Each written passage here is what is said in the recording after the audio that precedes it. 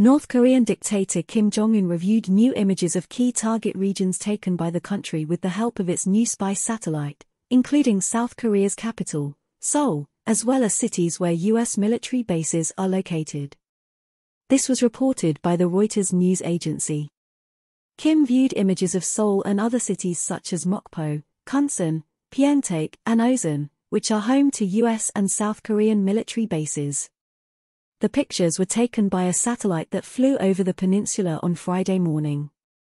Kim Jong-un reviewed the photos during his visit to the National Aeronautics and Space Administration's command center in Pyongyang on Friday.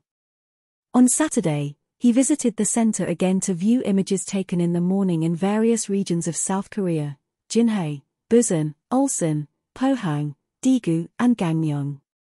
One of the photos shows the American aircraft carrier Carl Vinson, which arrived at the port of the South Korean city of Busan on Tuesday.